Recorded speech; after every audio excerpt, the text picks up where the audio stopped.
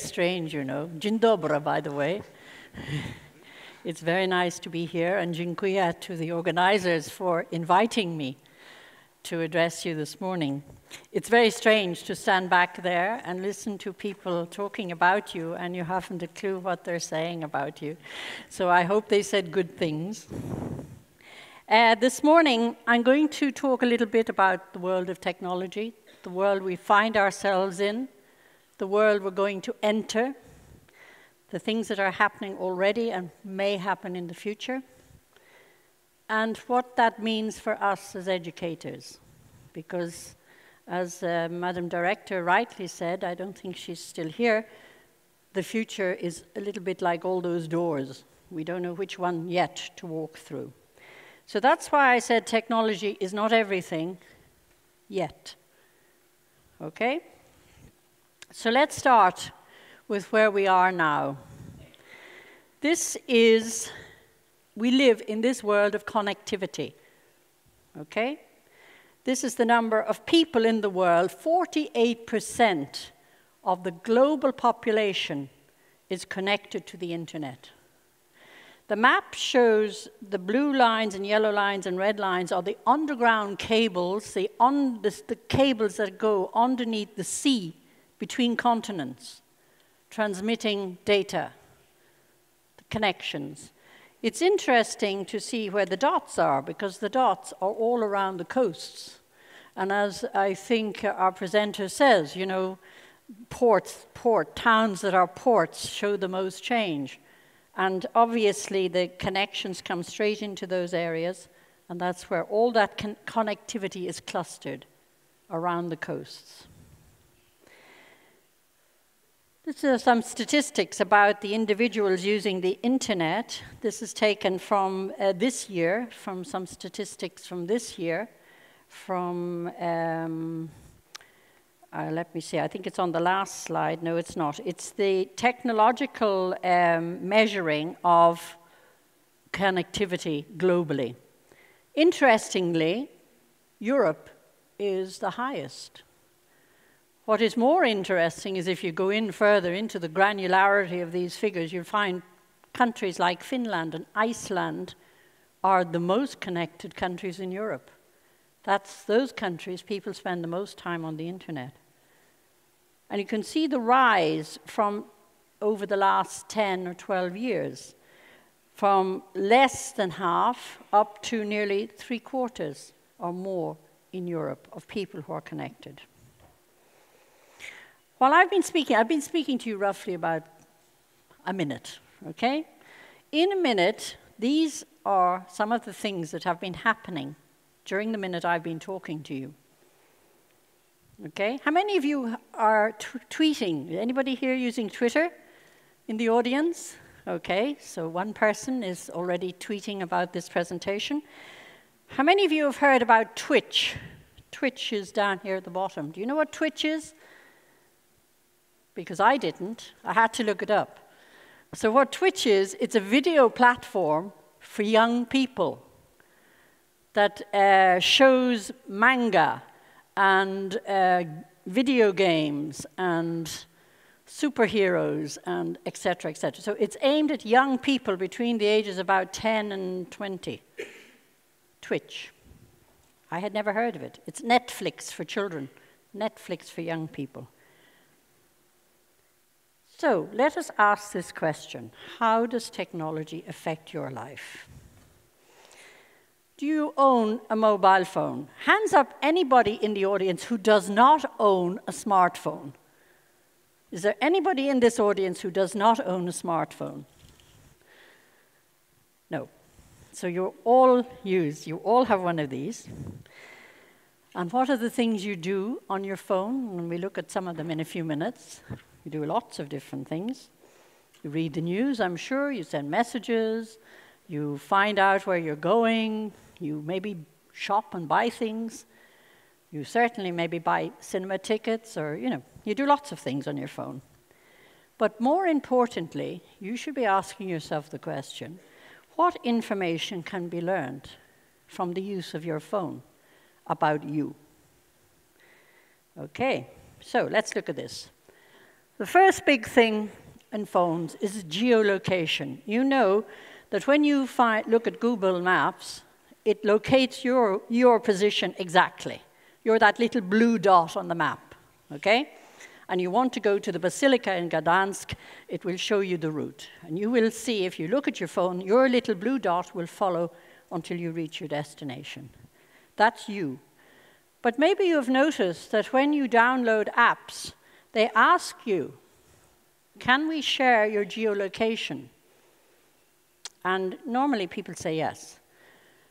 Fine, that's fine, but you need to know why they're asking you, and we'll come to that in a minute. Facial recognition. If any of you are, you are you know, lucky enough to own an iPhone X or one of the more advanced Samsung phones, you can now look at it and it will open your phone for you. Less, uh, some, some of them use a thumbprint, some of them use a code. Okay?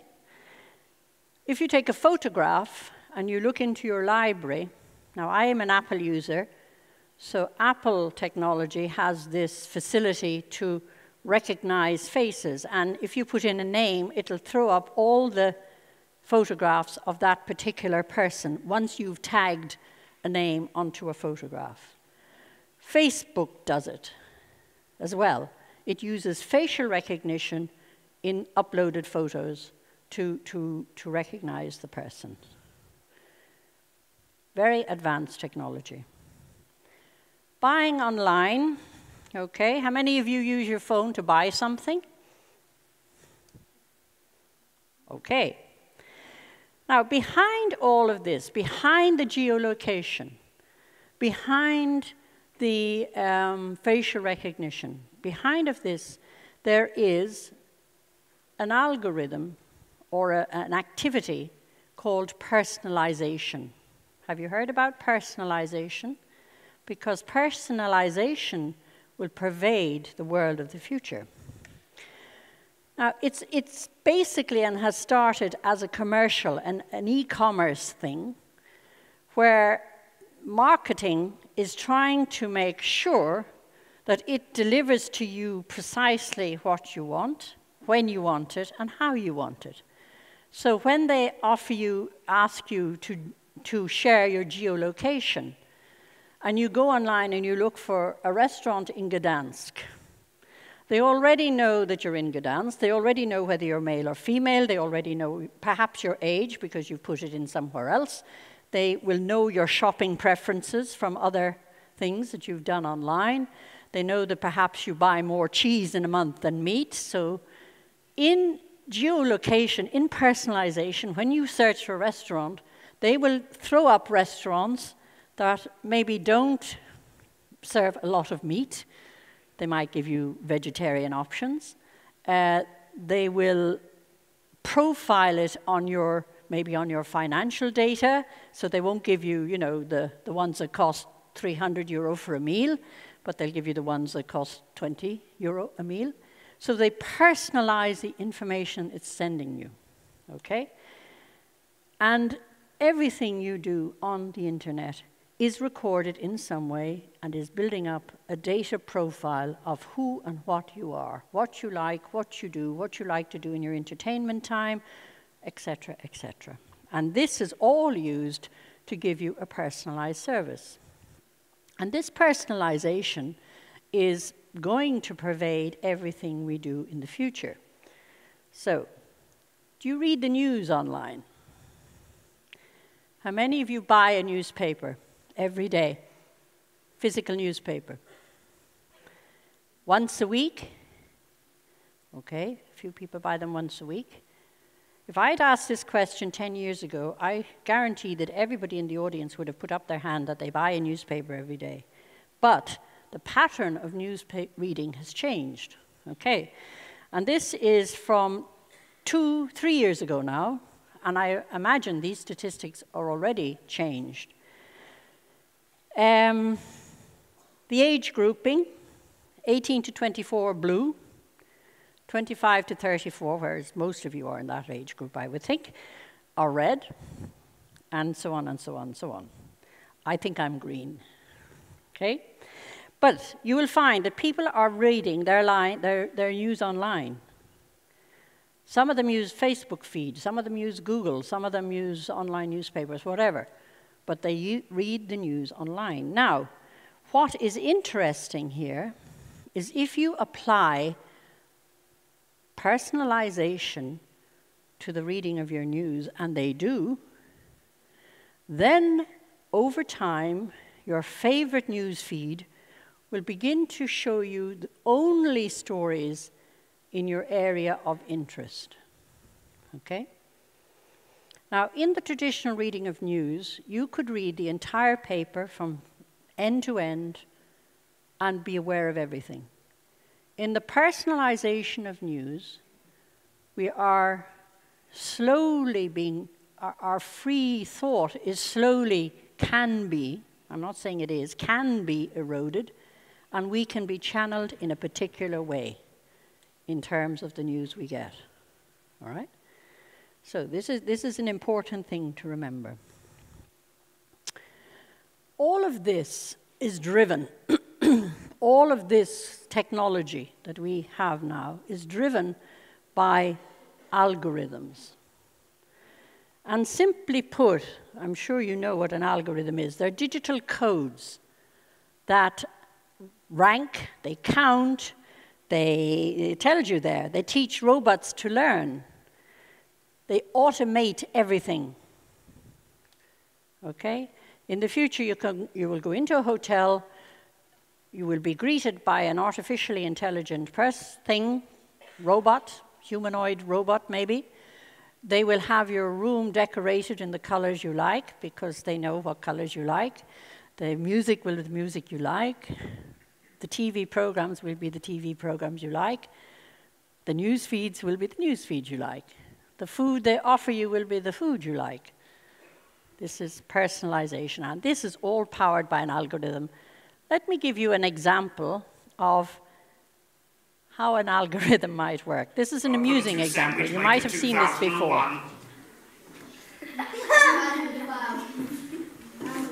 An old model. Uh, right hand, pick up bread slice.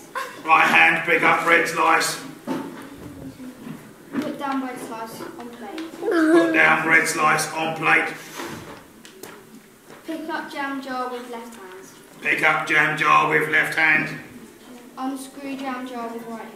Unscrew jam jar with right hand. Put, put down jam jar with left hand. Put down jam jar with left hand. Now put jam, jam lid down with right hand. Okay, you can stop it there. Compute. so what this, what this is showing you is it's a group of children trying to program their teacher to, uh, to make a jam sandwich okay? They're trying to write the algorithm for making a jam sandwich. It's not so easy. But yet, these algorithms are now the most powerful things in our world. And we're entering what is, we're, we're now almost, you know, a quarter into the first, this 21st century. We're still talking about 21st century learning. But the future and the next phase of 21st century learning is coming to grips with this, the power of these algorithms. We're, we're entering a code-dependent age, all right? Now this, this group here, the Pew Research Center, based in America, they asked a number of experts what they felt, what effect they felt algorithms would have in the future. And they wrote a report about it, and the link is on my previous slide there. And I'm sure the, the, the, slides will be made available to you, so you'll be able to look at the links. So, the first thing they said that algorithms will continue to spread everywhere. Now that we've learned to control algorithms, now we've learned to make them do anything we want, they will go everywhere. They're already everywhere, you know? How many of you have driven up to a set of traffic lights that's red and as soon as you reach this traffic light, it turns green. That's an algorithm, okay? Somewhere in the background, there's a program that recognizes there's no traffic coming in any direction. It can turn the light green and you can go. That is an algorithm. good things lie ahead. They do. Good things do lie ahead because these algorithms can work for our benefit. Of course they can. But there is a but and a negative side as well. Humanity and human judgment can be, may be lost when data and predictive modeling become paramount. Now, predictive modeling is when you use algorithms, a little bit like we saw about the profile of teachers in Panoramia. So the predictive algorithm there is that they're female of a certain age, of a certain education, who act in a certain way. This predictive modeling will help educators to shape the continuing professional development of the future. Okay, that's predictive modeling. And it can be used in many, many different ways. However, be careful because biases, bias exists in algorithms. Algorithms are written at the moment by human beings, and human beings are not perfect, as we know. They have biases. So often the biases can be written into the algorithms. So, for instance, facial recognition technology that's used in a, in a crime prevention scenario maybe will home in on people whose skin is darker than ours, or people who, you know, always search on the internet for alternate ways of doing things or things that we might not consider to be socially acceptable. So facial recognition can hone in on these people, perhaps erroneously, in, in, a, in a crime prevention situation. Algorithmic divides us. The categorizations of algorithms has the potential to divide us. Okay? We can be divided into the haves, the have-nots, the desirable things, the non-desirable things, etc. Unemployment will rise, and I have other slides to underline this for you in the future. But the need grows, and this is for us as educators, the need grows for algorithmic literacy. We have to understand what algorithms do, they have to be transparent, and they have to have somebody overseeing them, controlling them, etc. Why?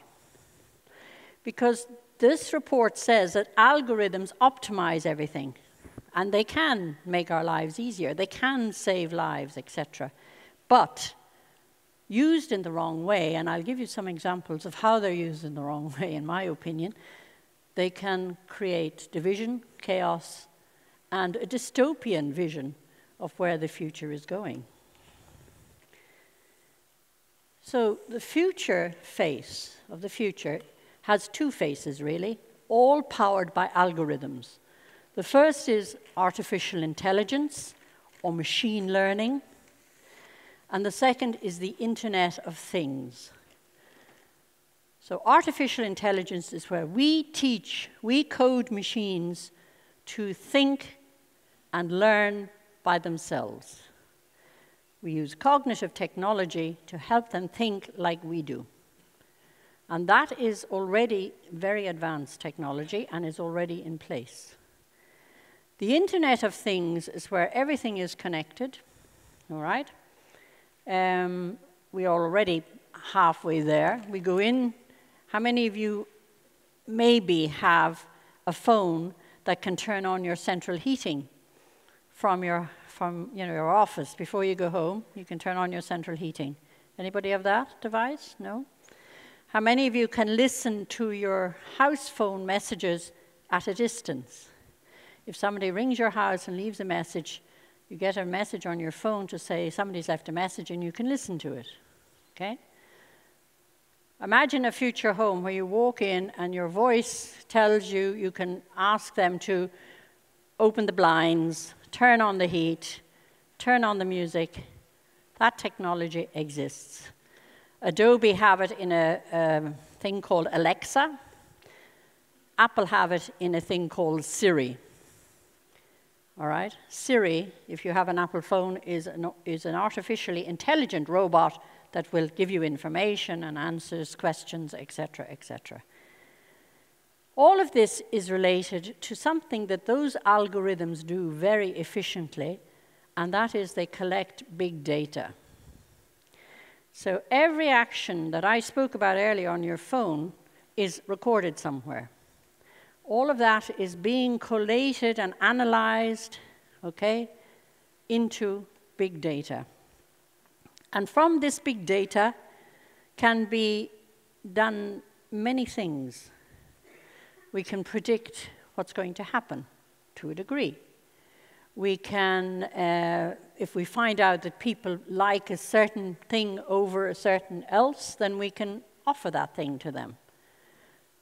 One of the driving principles, I think, of the modern world is that everybody should be content, should be happy, should not worry, should have everything they want, when they want it, and how they want it. There's no challenge in the living anymore. And all of that is due to big data. Anybody know who this man is? This man is the head of Samsung Electronics, and his name is Young Sohn. And last week he spoke in Lisbon at a big, big conference called the Web Summit, which is a very large conference for um, the, the trade, if you like, the, the, the whole internet trade and the marketing thereof. And in his speech, he said he was worried. And what was he worried about? He was worried about artificial intelligence and data gathering. And he talked about the ethics what is right, what is wrong. At the moment, all of this is driven by market forces. It's driven there to make sure that the optimum uh, situation is that you buy more of the products you like. Okay? That's the, that's the way it's driven at the moment. But he says, hang on a minute, we need to think a little bit about where we're going with all of this. And the research has to be that we use all this data for the advantage of human beings, not to exploit them, not to make them buy more, but to make their quality of life better, and not to take advantage of us. And this is from the head of one of the largest uh, technological firms in the world. He's worried about ethics. Now, this is a, a difficult slide. He said in his speech, look at the figures there are 340 trillion, trillion, trillion IP addresses. Now, an IP address is a unique address for any little, little um, device, a little, um, what's the word I'm looking for? Uh, I can't think of it. Anyway, that's in your machine, okay? And these all talk to each other. They all connect. So when you use, and here are some examples here, health tracking. How many of you have a Fitbit like me that tells you how your heart beats, how much you sleep, how many steps you do. All this is recorded somewhere. Okay? So this is this is these are the devices. The devices are all talking to you. Look at the scale. How many trillion there are, and there are only 1 billion, 100 billion stars in the galaxy, and I think this is interesting, only 100 billion neurons in the average human brain. So already we have the capacity to outreach even our own capacities, which is a little bit dangerous.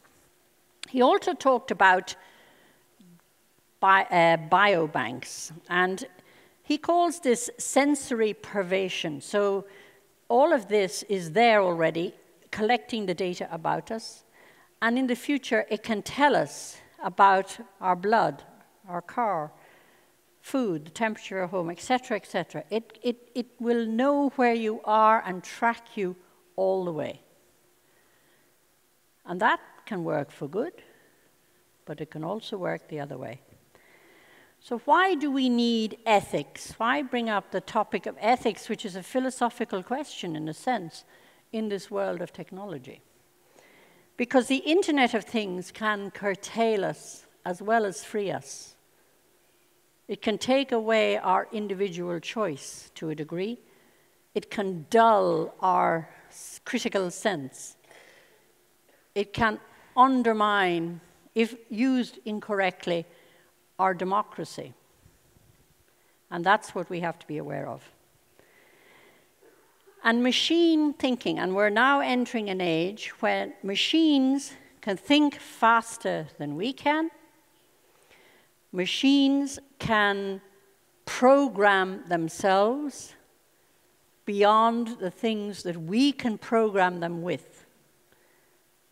So the machines can program, program themselves with programs that we as humans cannot understand because they're far more advanced than we are. And that's the danger. Let me give you two examples. The first one is this robot policing. And this is a sharpshooter developed by that man's company, Young Sohn's company. Um, it's a robot sensor. It has a gun. Okay? It has an integrated system that includes surveillance, tracking you, your position, firing, and voice recognition. It can challenge you on the street. If you, if you speak to it, it will troll through its data to see if your voice checks with some known criminal's voice. Okay?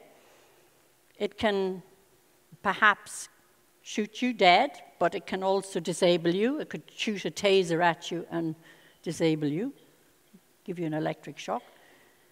So, this could be the future of policing.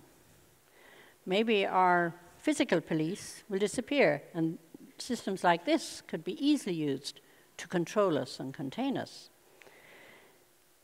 Weapons, and this is the really frightening thing, both the, all the big powers, not just the US and Russia, but all the big powers are working on these weaponized, these drones that can work independently of humans to make the decisions to strike. So they don't need us to press a button, they don't need us to pull a trigger, they can be programmed to make that decision themselves. And I just have a very short video I want to show you and I'll explain a little bit about the video afterwards. Pilots directed almost 3,000 precision strikes last year. We're super proud of it. Can we go forward a bit? It allows you to separate the bad guys from the good. It's a big deal. But we have it's flying itself. Its processor can react 100 times faster than a human. The stochastic motion is an anti sniper feature.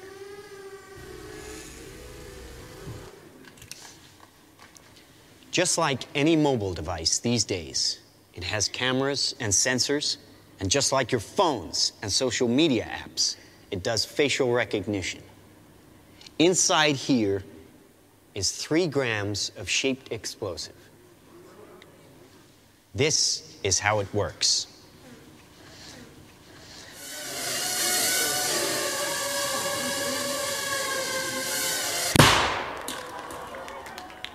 Did you see that? That little bang is enough to penetrate the skull and destroy the contents. They used to say guns don't kill people, people do. Well, people don't. They get emotional, disobey orders, aim high. Let's watch okay, the weapons can, you can make. stop it now. Okay. So he's making a very important point here. The important point he's making is that human beings act with emotion. Machines don't. Okay? So we can program things like this who make judgments and make decisions without any morality behind it, without any ethics behind it, without any emotion behind it. And that's why we have to be cautious. We have to look. Just two more examples of how big data and algorithms are being used in the modern world. The first one comes from China. I don't know if you've heard about this, where by 2020, um, gathering all the data from your daily interactions, from street cameras, from your phone, from you know you, the things you look at on the internet, etc., you will get a social credit rating. As a good citizen, or a not so good citizen. Okay? And in, by 2020, China hopes to rank every citizen on this social credit rating. You can be rewarded or punished according to where you fall on this scale. You can move up and you can move down. If you are caught on camera having a cigarette in an area designated as a place where you don't smoke, this can you know, give you a bad mark. If you skip onto a train without a ticket, this can give you a bad mark, etc., etc. So, like financial credit, your, your move can go up and down. Already, there, there are statistics, official government statistics in China, of people who have been refused flights because their credit rating was low, because they, they've been refused the, the, the uh, permission to travel. They can't buy a train ticket to go from A to B because, you know, they've skipped the line too often and haven't paid or something. So this is, this is a, a real scenario where all the work we do, all the, the, the data gathering about us can be used for or against us. The other important one is happening in Australia. And Australia are trying to bring in legislation where they can force the phone companies to give you, give them in the encrypted data on your phone. At the moment, we're safe because everything on our phone is encrypted to a degree, and nobody can access that. And you might remember that Apple were, they were trying to get Apple in America to to give their encrypted data. If Australia succeeds in this, then everything we do is open to being investigated. And it's really a test case for the world is if Australia are, are successful in passing this legislation under the guise of keeping an eye on terrorists, um, it will open the, it'll open the door for them keeping an eye on all of us. However, Europe has, in a sense, foreseen this to a degree. And now we have this GDPR, this General Data Protection Regulation, which has become mandatory in Europe from January of this year. What does that mean? That means that you are given control over your data. You can decide whether you want to share things, you can demand the data that's held on your behalf by various companies. You have the right to be removed from databases. You must be told when a camera is filming you, and you have to agree to it, okay? Because we have cameras everywhere, as you know. At least in Europe, a step has been taken to preserve our personal identity, our privacy, or security. So already Europe is one step ahead of this. And here I come to the, I guess, to the meat of our, our presentation here the implication for us as educators. What does it mean for educators?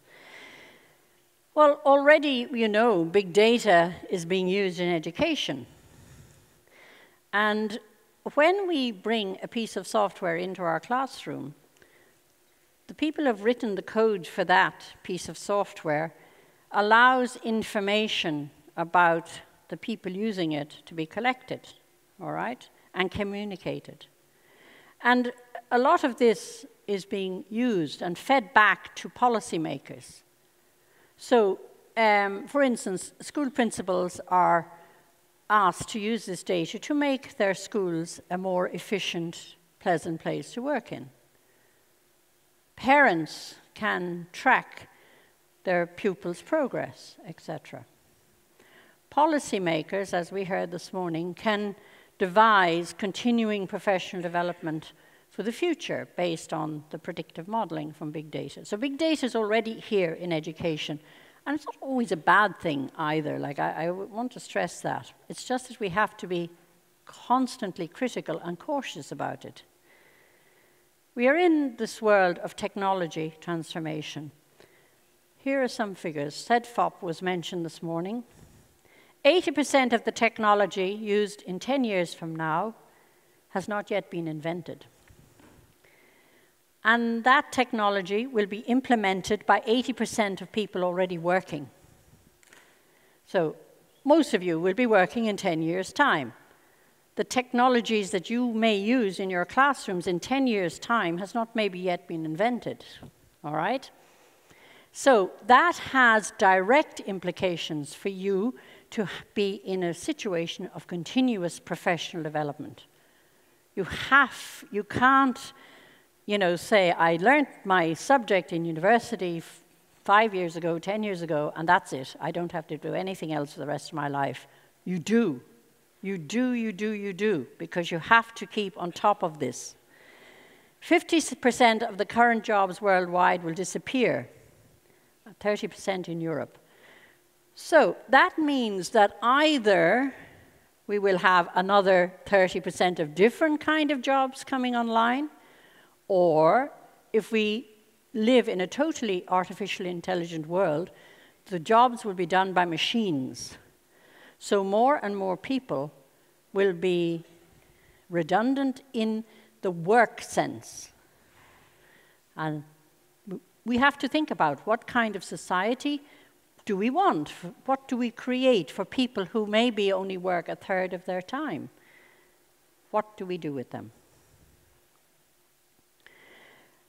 If you need that nine out of the 10 jobs of the future will require digital skills, and look at the, the statistic underneath, less than half of the EU population lack basic digital skills.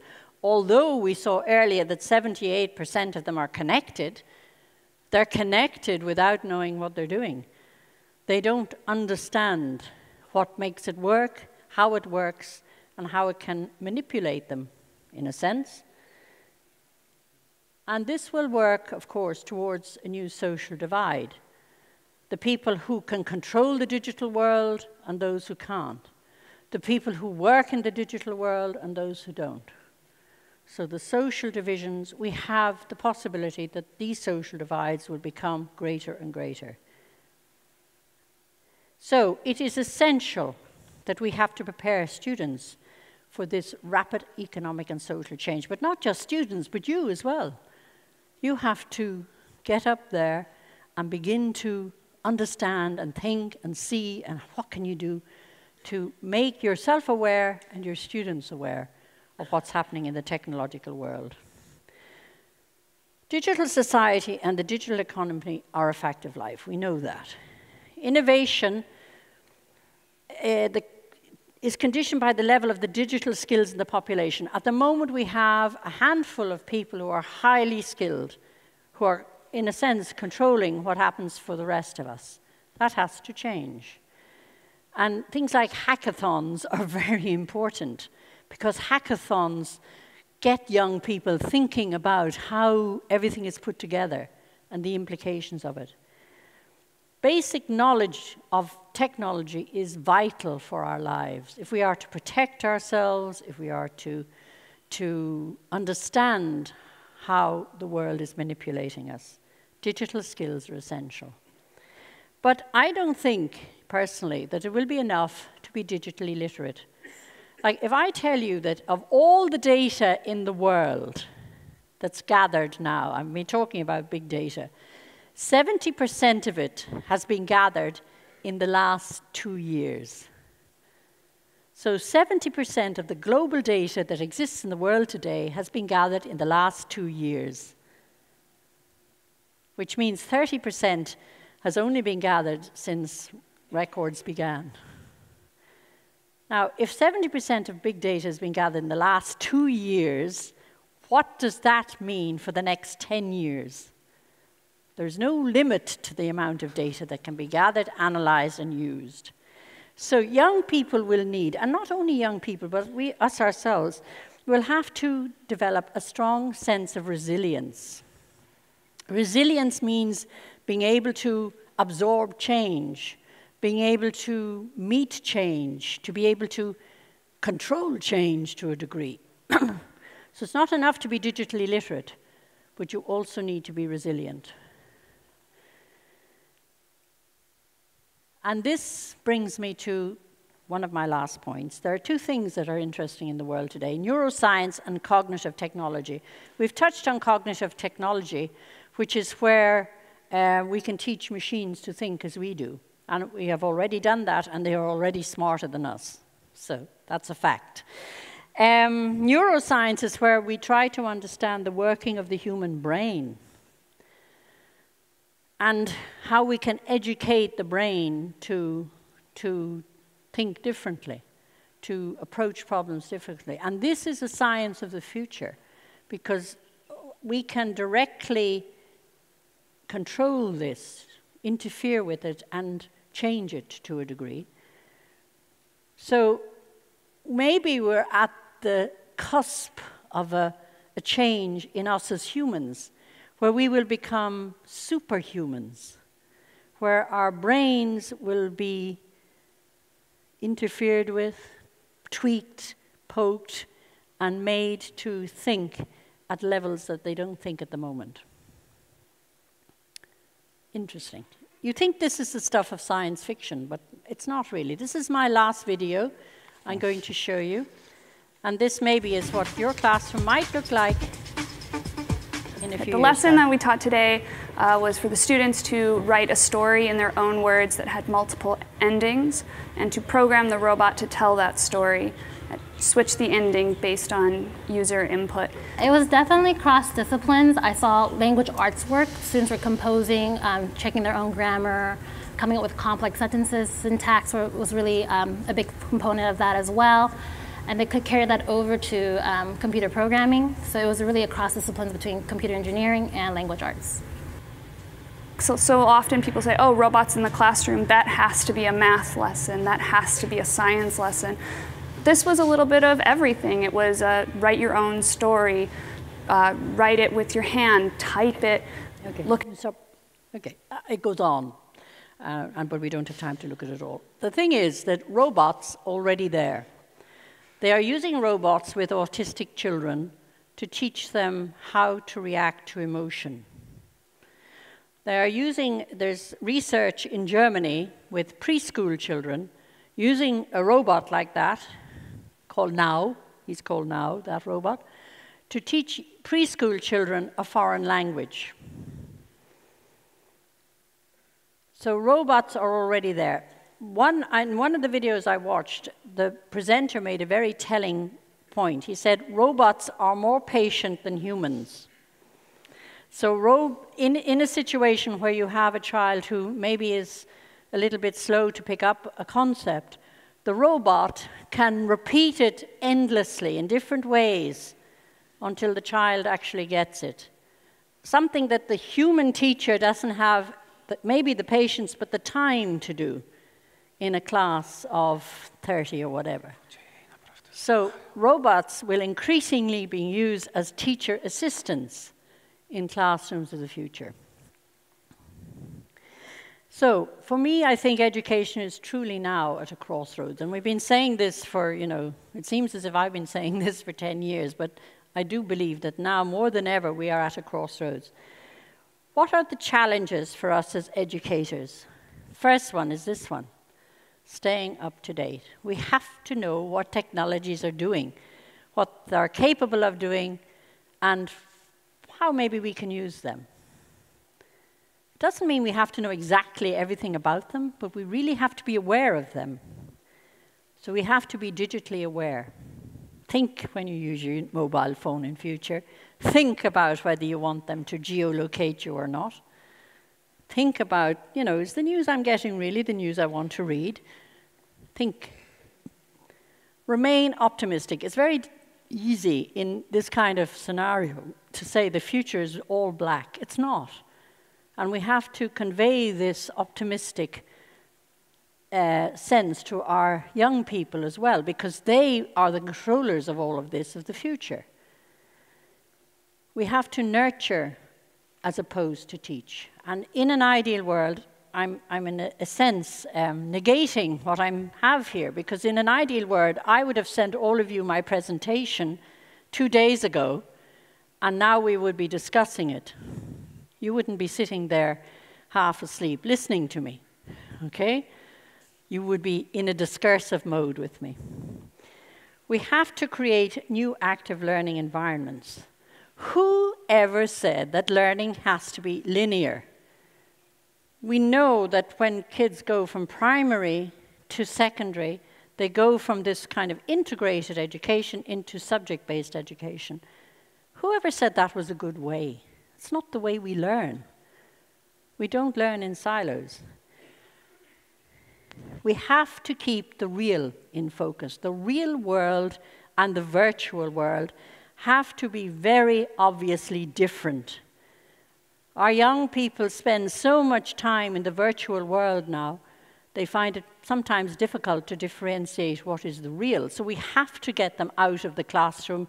We have to get them away from machines for a lot of their time. We have to continue to let them act as children, play, climb, talk to each other, learn from each other in an active, real world and they have to know the difference between the real and the virtual. And we have to focus on emotional and social intelligence because that is the most important of all. Because unless we humans can continue to collaborate, to talk, to understand each other, be empathic with each other, machines can't be emotional, machines are not empathic. Machines have no values other than the ones we program them with. And these are the essences of human beings that have to be retained. And we have to remain inclusive. There has to be a place for everyone in our society, everyone. If 50% of the jobs will disappear and the employment rate will raise more than it is at the moment, we have to build a society where these people can do things that are useful and regarded, give them status, make them feel important. Um, I don't know, you, you know, the, I, will skip this slide because I'm running, I think, a little bit out of sight. But these men have visions of education that's different. Sugata Mitra, you might have heard of, has done some research where children in Africa were given a computer and no instruction and they taught themselves. They taught themselves to read, they taught themselves to manipulate. They, it's a system what they call self organized learning. So he says young children can teach themselves to a degree. It comes to a point, of course, where they need input from more educated people, like teachers, but not in the traditional lesson type. The other one is Negroponte, he's head of MIT, and edX is a platform of Harvard and uh, Yale universities that offer free courses to anybody. So if you type in edX into your Google search, you can take any of the courses from Harvard or Yale that are free. Here is a proposed model of a future education. I talked about linear education you know, I go in and I, for 40 minutes I study maths. I, I leave and for 40 minutes I study history, and I leave and for 40 minutes I do language. That's linear. This is a proposed a curriculum for the future from a, a man in America for uh, secondary schools. And here he's talking about modules. As human beings, we don't think in straight lines. We just do not. But we do can think in modules. Now, this doesn't mean that we're getting rid of all the traditional subjects. Of course, they're not. These are incorporated into these modules. But, for example, storytelling communication can encompass things like history. Um, ha we have to know how to read, write, and compute. But maybe we need also to learn how to code. Am I running out of time? Yes, very, yes, okay. this is um, Europe, okay. Can I just, this is um, my second last slide, okay? Because uh, we don't have time. Yeah. Uh, our uh, next lecturers are waiting. Oh, I'm sorry. I've taken up a lot of your time. Any Doctor Who fans in the audience? -huh. So this is the March of Machines in this machine age, humans must prevail. And here we have already evidence that countries in Europe are thinking about the impact of machines in the world. These are the artificial intelligence strategies that the world are putting in place since last year. You will notice that your own country has been there since 2017. So already they are thinking. And this is my last slide, okay? Not everything, this is a quote from Einstein, who is the father of a lot of this technology, okay? This is what I say to you keep questioning, keep pushing the boundaries, yourselves, but also your students. Be disruptive, be critical. Humans interacting with humans is the key to a better use of technology in the future. We have to continue working with others and a better world for all. And thank you for your listening. And sorry if I went over my time.